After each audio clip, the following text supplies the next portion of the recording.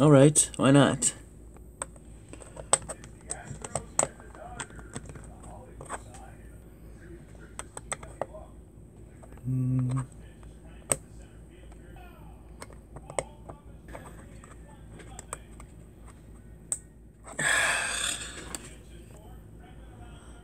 Alright then, so as you guys know, this was viewer requested by Brick Click.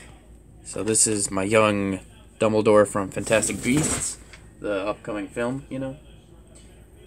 And a very simple figure.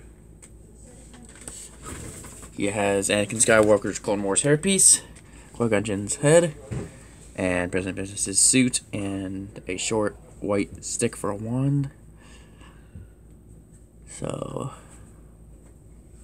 I guess that's it. I hope you enjoyed this tutorial slash showcase, and I will see you guys later.